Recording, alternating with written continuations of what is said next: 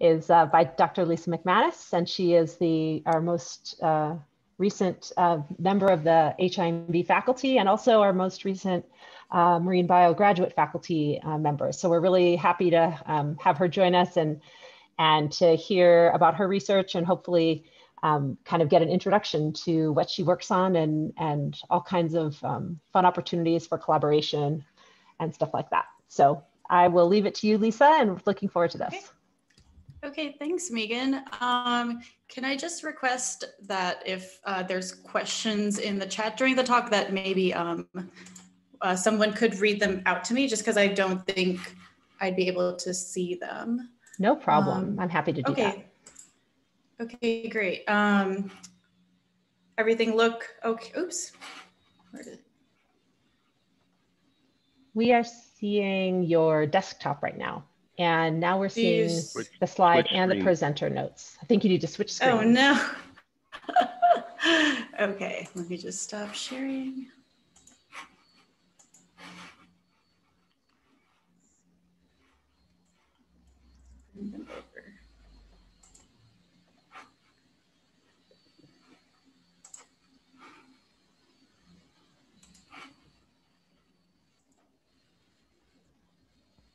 Do you still see presenter notes?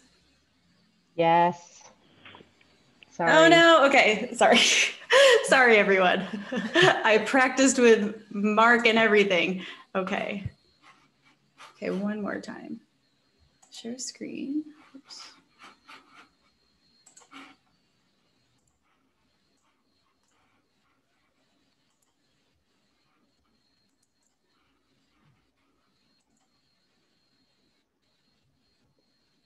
Perfect.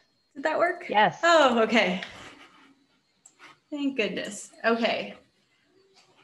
Um, yeah, so I just wanted to say uh, thanks uh, to everyone for making me feel very welcome despite our current circumstances. And I'm certainly looking forward to interacting with you all in person um, as soon as we can. So this talk is um, about coral reef eco-evolutionary dynamics, uh, and it's work that I completed as part of my postdoc. So before we get started, um, I just would like to uh, go over the kind of general idea behind the project as a whole. So this work was funded by the Gordon and Betty Moore Foundation and the Nature Conservancy, um, and it was called Modeling Adaptive Potential.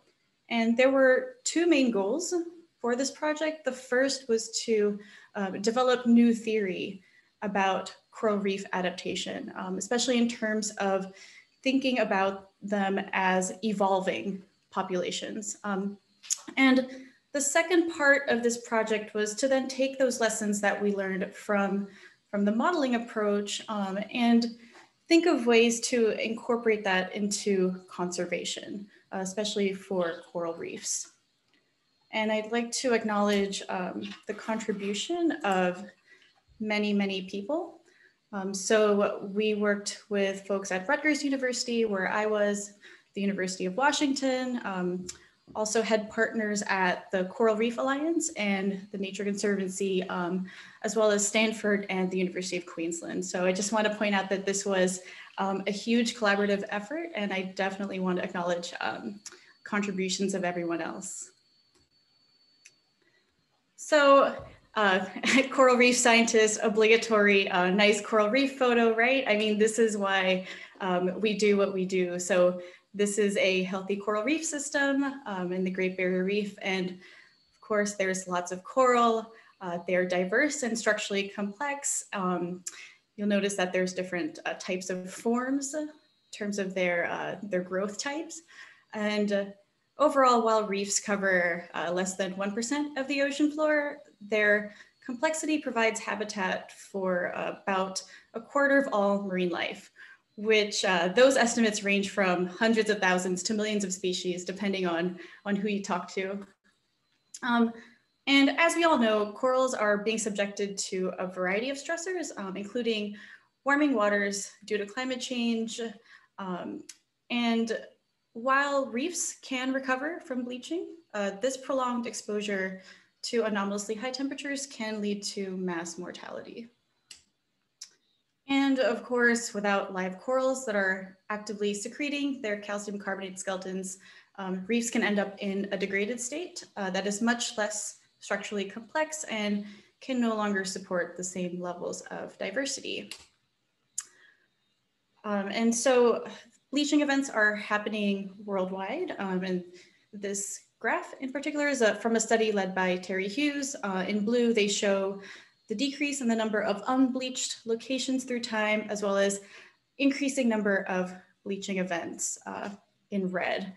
So main takeaways here, more and more reefs have experienced at least one bleaching event and that the frequency is increasing, which is particularly distressing because recovery is that much more difficult when bleaching events are back to back. But having said all that, this isn't a doom and gloom talk. And I argue that we are just now starting to uncover the different mechanisms um, by which coral populations can potentially adapt. And so there are many things to consider here in terms of our system. For example, we know that corals disperse and that dispersal affects the local dynamics within a patch. And by that, I mean, um, in any given reef, uh, there's competition, there's herbivory, there's predation, all these local dynamics are occurring. But we know that uh, they also, because of coral's life history, that there's dispersal and this dispersal process can influence what's going on at the local scale. Also, we know that reefs experience different temperatures, right? Um, we know that, for example, um, so some sites have average temperature that are warmer or colder, and even um, things like variation in sea surface temperatures can vary widely across the system. And for this and other reasons, we know that corals have different temperature tolerances. So we know that corals can um, differ in their temperature tolerance across reefs. We know that different species may have different temperature tolerances. And even within one particular patch, um, individuals of the same species might have different bleaching thresholds. And so uh, this study does a good job of illustrating some of these concepts. So uh, this work was led by Joni Kleypas. And what they did was they used historical temperature to calculate bleaching thresholds across the coral triangle. So this is the coral triangle network, um, which is in the Indo-Pacific. And so the assumption here was that populations are adapted to local conditions. They then recalculated these thresholds to incorporate dispersal probabilities from an ocean circulation model. So they simulated a larval dispersal using oceanographic data. And they found that when you incorporate dispersal into your bleaching threshold calculation, um, it can change uh, what those calculated thresholds are. So for example, here, sites in red um, experienced increased bleaching thresholds because those sites were receiving warmer adapted larvae and sites in blue um, were calculated to have decreased bleaching thresholds because they were receiving more cooler adapted larvae. But I just want to point out, so this is um, a, just a dispersal calculation. There was no uh, population dynamics or evolution or any of those processes here. So the key questions I'll be addressing today are uh, basically from three different studies. So uh, one is a very general study. It's um, not uh, not specifically about coral, but of course you can think about uh, coral. Uh, and it's how does dispersal network structure, how do these larval connectivity patterns influence ecoevolutionary dynamics? And in the second piece, we'll be applying this model to uh, real reef systems. So uh, we look at the Coral Triangle, the Caribbean, and the Southwest Pacific, and we ask if we can correlate any reef level factors um, to the probability of a reef either declining or being able to maintain coral cover. And finally, uh, This last part is very much ongoing, but we're trying to translate um, some of these findings into being able to inform management decisions. Um, in particular, we've worked closely with folks um, in the Caribbean because they're this is an ongoing effort there. They're trying to choose um, which sites to protect, basically. Okay, so for this first part. So in nature, many organisms inhabit discrete patches, right? And this can be due to physiological, behavioral, or ecological constraints of the organism. Um, but it can also be due to human-induced fragmentation. And so in these spatially structured populations, dispersal really dictates um, dynamics and persistence. And so I'll be saying the word network a lot throughout this talk. And what I really mean there is these habitat patches that are connected by dispersal. And that system as a whole is what I'd be calling my network or my meta population or even a meta community in some of the applications here.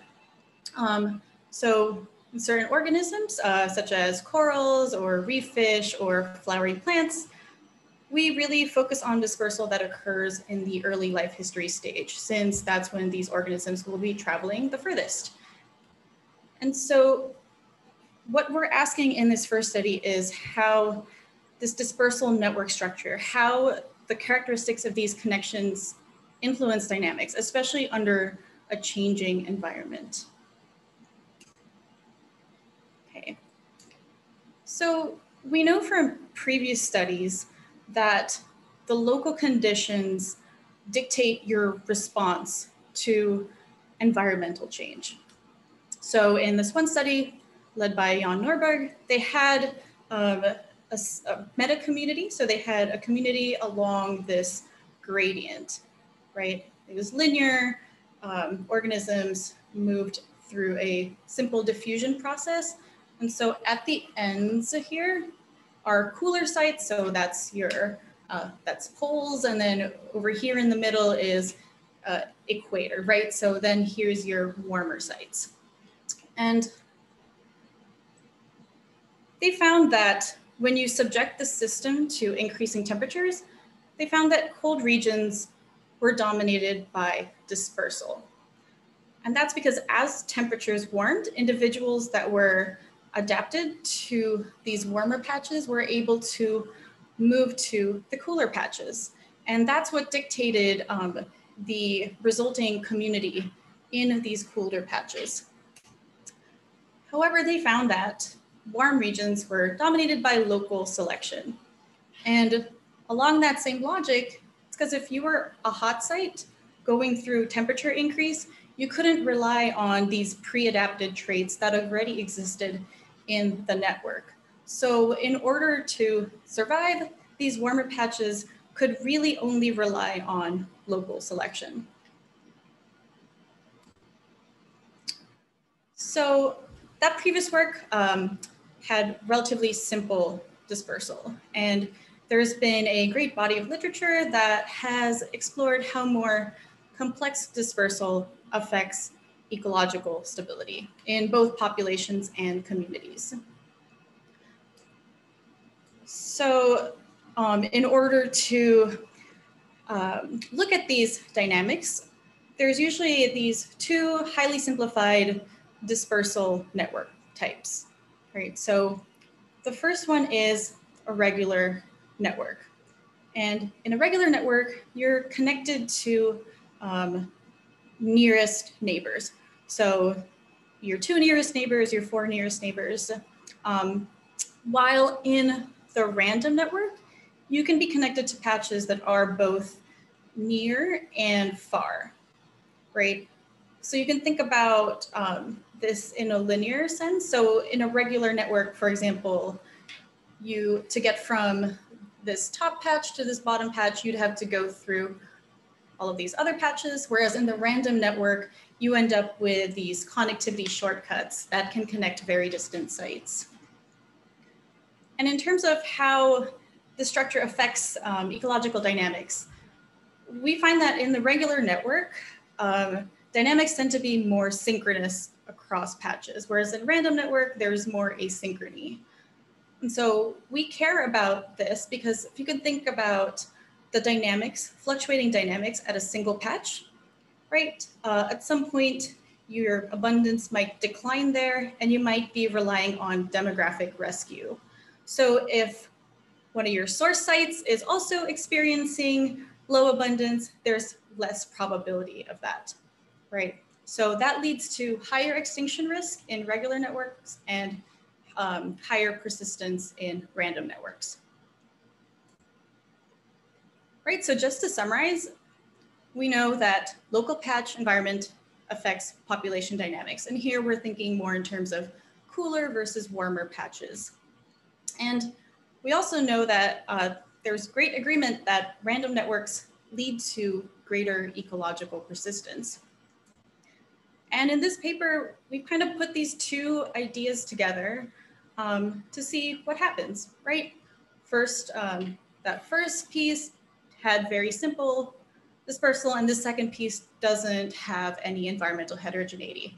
So what happens when we have an environmentally heterogeneous site, but also more complicated dispersal? So we used a system of uh, differential equations.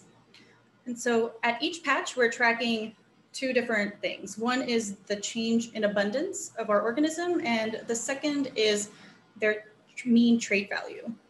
And here we think about their optimal growth temperature. So I'll say more about that in just a second, but basically um, the change in abundance at a patch, it depends on growth and mortality. And of course, there'll be individuals that will be incoming into the patch, and that also affects the abundance. And also, I won't be talking much about this, but there's a genetic load term, um, which you can think about uh, a cost for unfavorable traits in the population. So then in that second piece, right, so that first is abundance and the second piece is the mean trait value. And in our model, the growth and mortality depend on temperature. So in our framework, the population grows, the local population grows the fastest when that trait value is perfectly matched up to the local temperature, right? So then one of the forces that changes this mean trait value is selection, right? When there's a mismatch between your mean trait value and the environment, there's going to be a force that will match that up, either an increase or, or a decrease. And then the second thing that can change this trait value is, of course, gene flow, right? You're receiving um, individuals from other patches that are adapted to different conditions. So we need to take uh, that into account when we're tracking this change in mean trait value.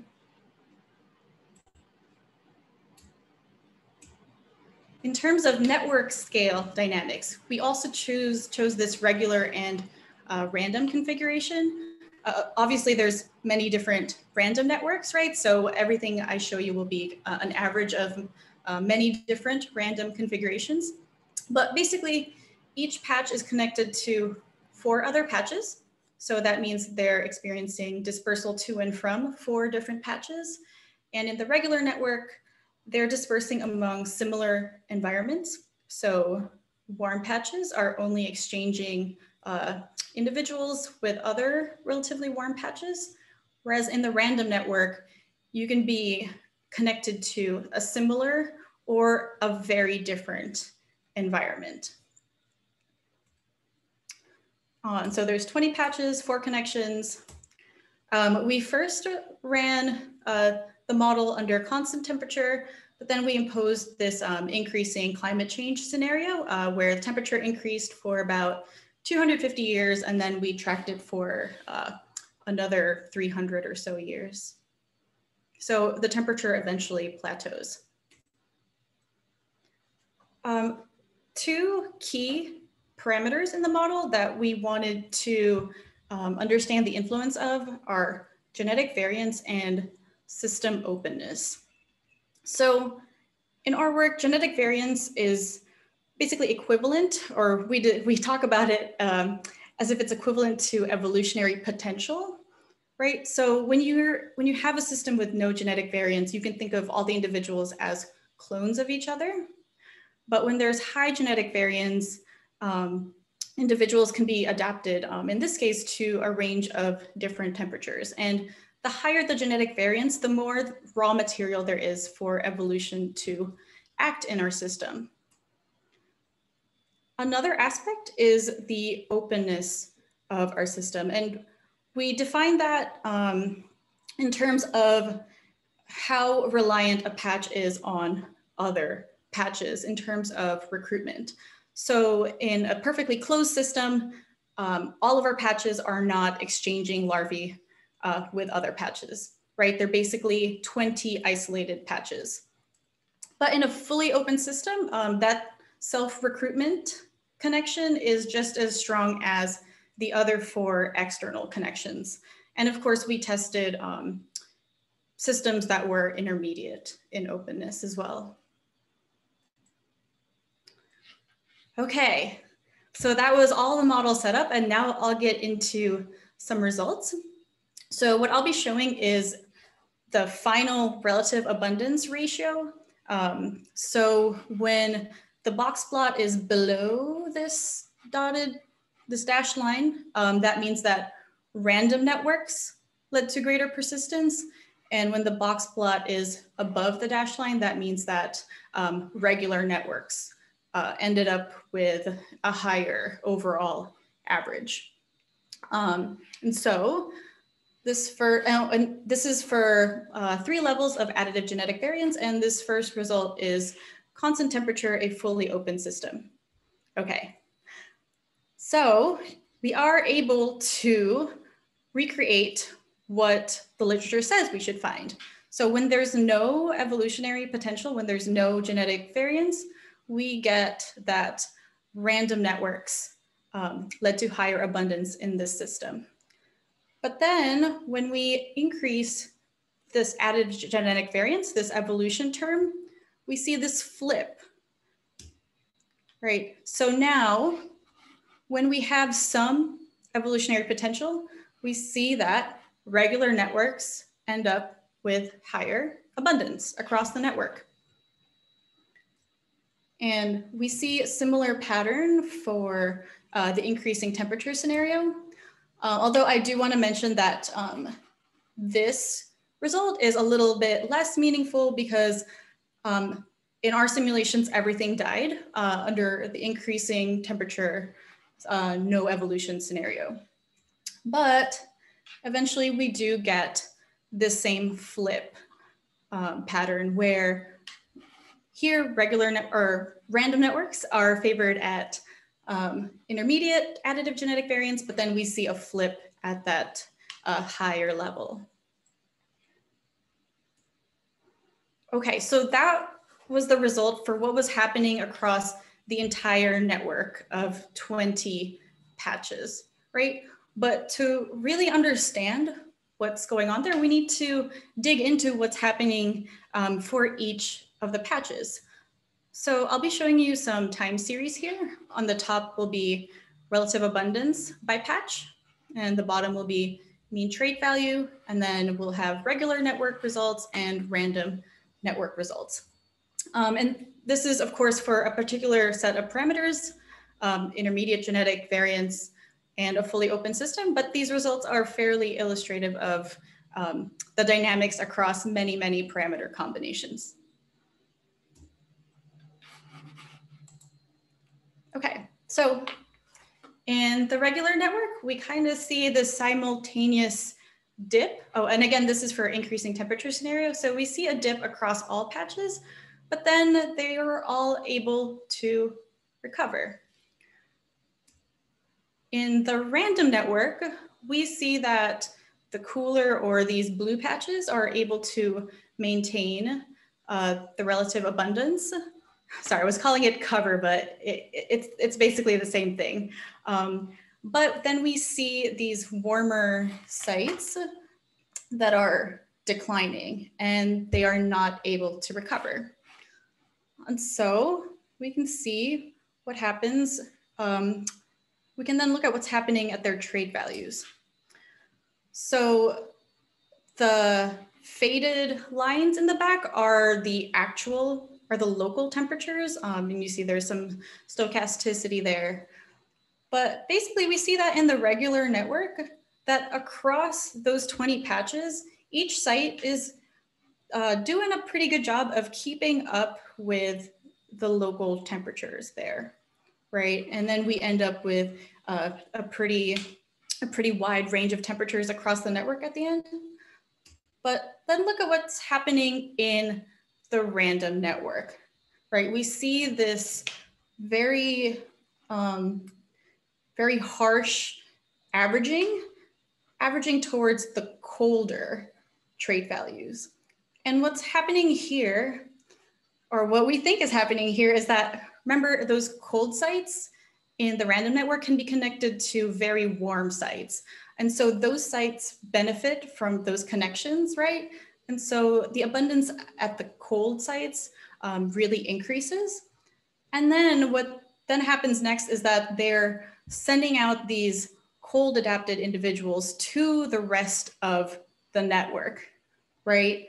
So then that's why we see this narrowing um, of trait values across the network, um, which we've been, um, which we think is this signal of gene swamping, right? So overall, it seems that um, evolutionary potential reverses our theoretical predictions regarding persistence. Um, and again, this was the previous result, right? That no evolutionary, under no evolutionary potential, uh, random networks do better. But then when there is the potential for evolution, um, regular networks uh, end up with higher abundance. And this seems to be because regular networks facilitate local adaptation. So again, in the previous result, we were able to see that in regular networks, each of the patches was able to keep up with the temperature change, whereas in the random network, uh, we did see some uh, effects of gene swamping, where those cold sites uh, were able to increase in abundance because of warm adapted larvae. And overall, we see that network structure and environmental heterogeneity uh, have really interesting interactions uh, and they matter greatly for the overall ecoevolutionary dynamics. Okay, so back to, back to the coral. Um, so Right. So in this part, in this paper, we tried to figure out if there were any reef level metrics that could predict um, either the maintenance or decline of coral cover uh, across realistic reef networks. And so to answer this question, we changed the model a little bit. Um, so to add some response diversity, we now have uh, two different species or functional groups, however you want to think about it. So we had a fast growing coral with a narrow temperature tolerance. So here I have um, their growth rate as a function of the difference between trait value and local temperature. And so uh, we had one coral that had a very narrow temperature, but a higher growth rate. And the other coral was more slow growing, but had a wider tolerance. Um, we also tested, again, since we don't, we don't have very thorough measurements of some of these parameters, we need to explore multiple possibilities. So we tested um, multiple levels of genetic variance, and we also tested, um, we also looked at many different uh, temperature and connectivity metrics that are commonly um, looked at.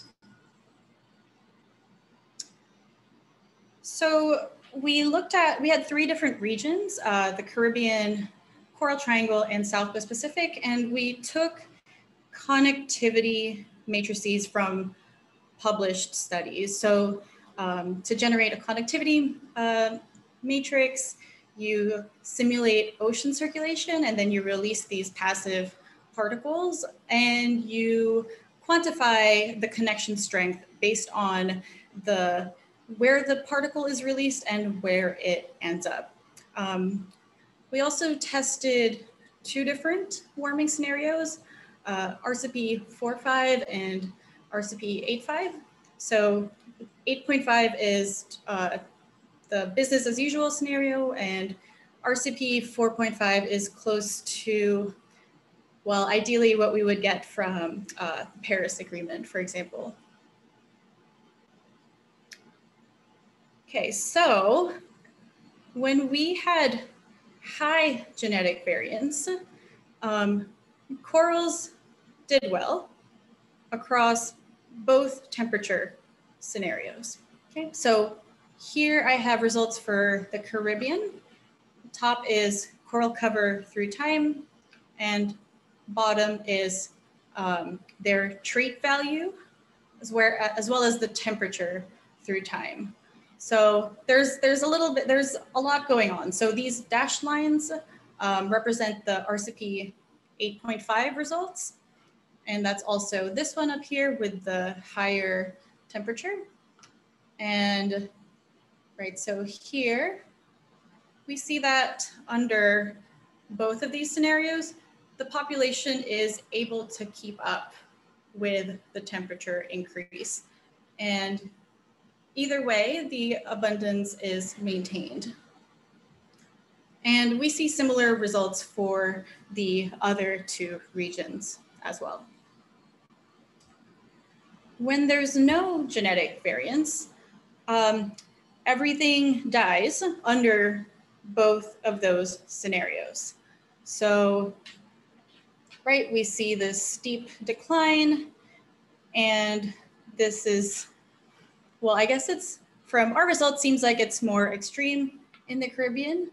Um, but in general, these uh, these populations uh, exhibit decline. And again, so these are results averaged across the entire network. Um, a number of reefs range from 300 to more than um, 2,000. So one of the more interesting results was that when we had an intermediate level of genetic variance um, under one, so this leads to persistence under RCP 4.5, the less severe scenario, but it leads to a decline under the more severe warming scenario. So that tells us that um, in this intermediate level that there's a strong interaction um, with temperature, right? And again, results are fairly similar across the three regions.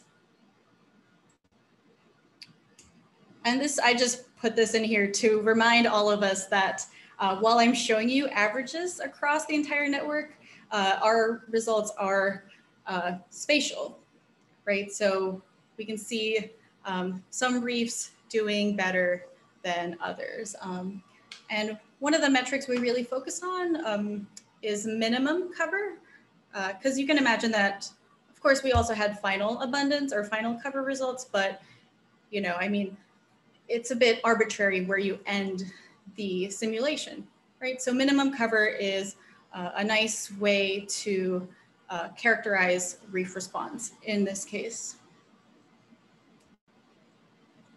So remember, we also had the two different coral species, and they certainly responded in very different ways. Um, we saw, for example, fast coral tended to decline very quickly, but was able to recover quickly.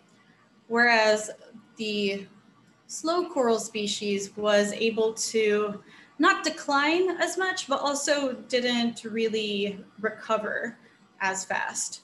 Um, so taken together, it's really both of these species uh, were critical for maintaining cover on a particular reef.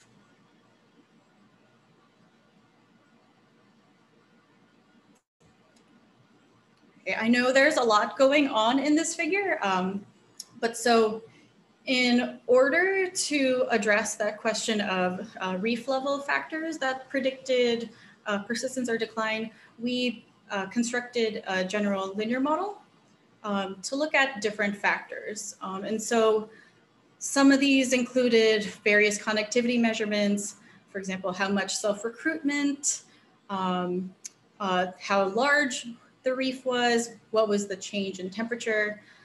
And really what I want to focus on uh, are these two. So the orange is, uh, we called it initial sea surface temperature. So, but it's basically more uh, how cool or warm you were relative to the network.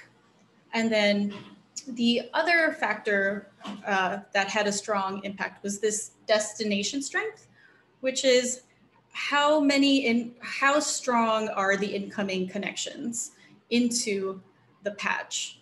Um, and so these results are basically the coefficients. Positive values were uh, positive correlations, negative, negative correlations. Um, and then this was under three levels of um, additive genetic variance. And so one of the more interesting things, so when you have enough evolutionary potential, when you have a lot of genetic variance, these uh, metrics, these characteristics are less and less important. So that was just kind of the point of this figure. Um, and also to highlight a couple of these. So this orange one in the negative uh, means that colder patches did well, right? Because there was uh, temperature. Um, and then here, um, high destination strength was a strong positive predictor of minimum coral cover. And just for completeness, um, we saw mostly similar factors across the three regions, but um, in the paper we do get into, um, there are some differences and there were different, so even those larval dispersal patterns, those connectivity matrices, they were all generated by different groups. So even in, so despite all of those differences, um, we still see um, a lot of results that we can generalize across the three. But of course, there are also some differences. So first and foremost, I, I do want to point out that evolutionary potential is critical. Um, uh, if there's enough of it, it doesn't, we can basically ramp up the temperature as much as possible, apparently. But of course, um, that's there, there's also a lot of nuance there. And I think those values were definitely on the higher end, but also not totally unrealistic. Um, and here, uh, higher destination strength, and again, having a relatively cool, uh, being in an environment that's relatively cool uh, tended to predict higher uh, coral cover. Okay, so this last part is very much ongoing. Um, and it's basically we've, uh, again, modified the model um, to test different management strategies across these networks. And I'll go into how we did that. So again, this question was addressing if you have this heterogeneous network of reefs, where should we be directing our efforts? Um, and I say efforts because it could really mean um, a variety of things that I'll get into. Um, so again, it's the same exact framework, except now we have a macroalgal competitor in the system. And the role of this macroalgae was just to serve as a local competitor of corals. So that means that all the larvae or all the algae was doing was uh, it had population dynamics. It wasn't dispersing or um, evolving or responding to the temperature. So it was just there to um, serve as another stressor for the coral, essentially. So when we put in marine protected areas in our system, all we did was we set the algal mortality as higher, right? And so this, you can imagine this means, okay, maybe we uh, protect herbivore populations there, but it can also mean that um, you've managed local nutrient inputs, for example, because higher nutrients can be linked to faster algal growth, for example. So again, that's all we did here. There's just the algae die more or die faster in marine protected areas, um, which of course benefits the corals. So some of the strategies we looked like we looked at were um, looking to focus on cold sites, the hottest sites. Um, we had this ideal larvae strategy where we chose sites that were predicted to receive um, warm adapted larvae. Um, we also tested a strategy where um, we looked at this metric called eigenvector centrality, which is a metric that um, where you find major larval sources. And of course, we looked at um, a couple other strategies. We looked at what if we just evenly spaced sites across the network? Um, and what if we chose the most isolated sites that you think, okay, maybe they'll have the highest level of local adaptation, for example. Oh, and we also chose, uh, we also looked at a random uh, site selection strategy.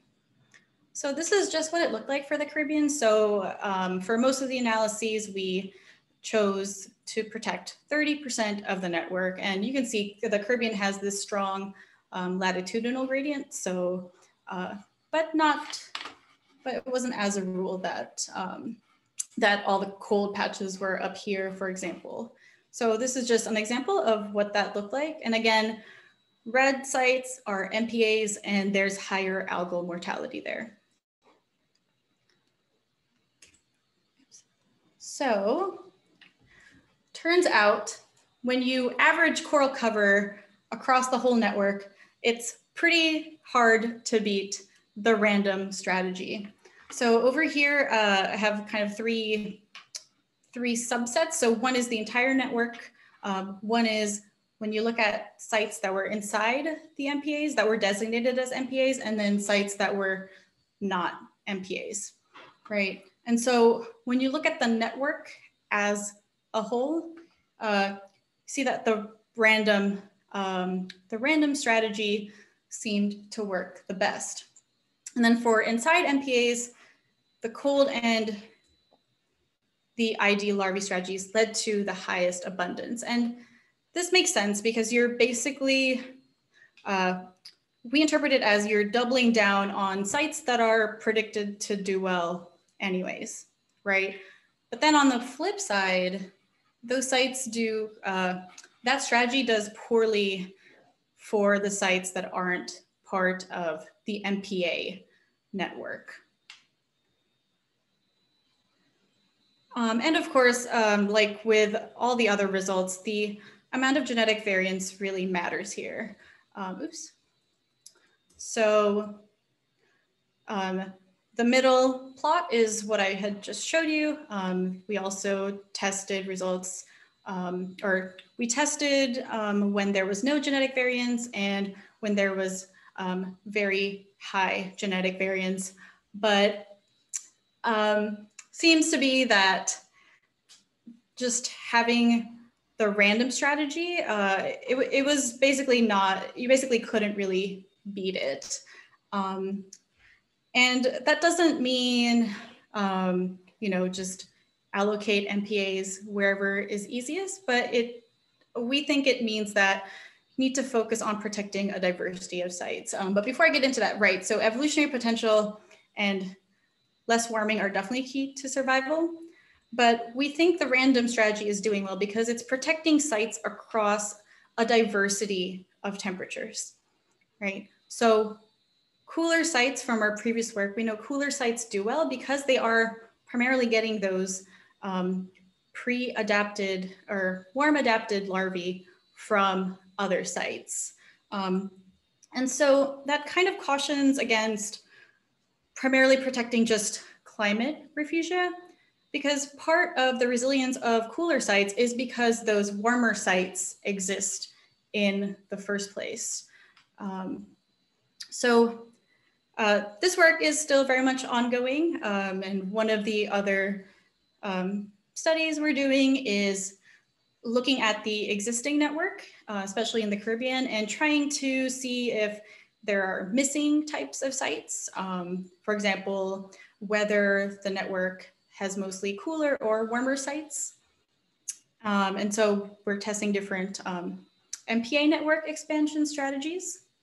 And we're also testing different restoration strategies, um, which when we're looking at these networks and these reef patches are very, very large, right? I think in the Coral Triangle, the average reef there is several hundred kilometers. So it seems that restoration to affect the entire network needs to be done at such a scale that is not really that feasible at this point. But of course, that's not saying anything about the local effects of restoration. Um, I'm going to end with just some final thoughts and some of the future directions I've been thinking about. So obviously in everything I showed you today, genetic variance has been the critical driver of whether reefs persist or not. And there, there are just not enough empirical measurements of this in corals that, and I mean, you can imagine it would be species specific and it would depend on where the reef is. And I think it's just, so it just points to that this measurement will be critical in order to link these type of simulations to the real world.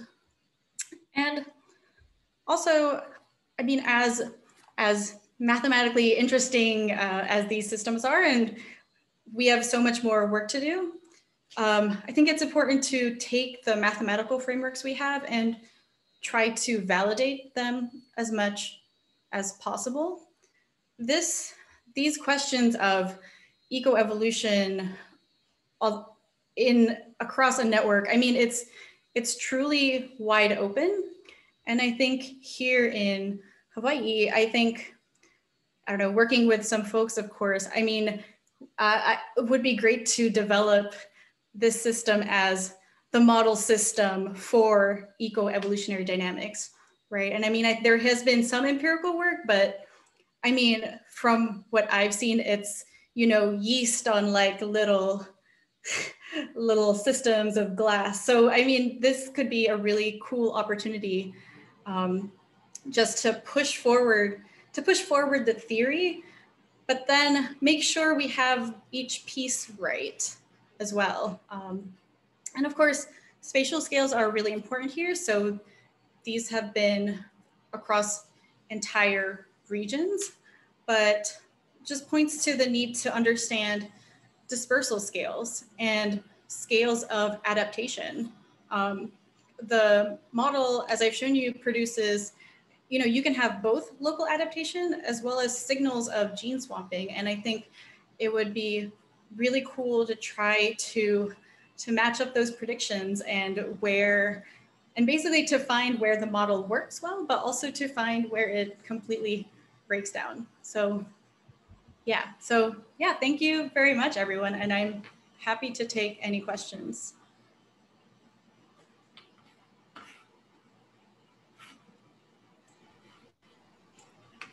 Thank you so much, Lisa.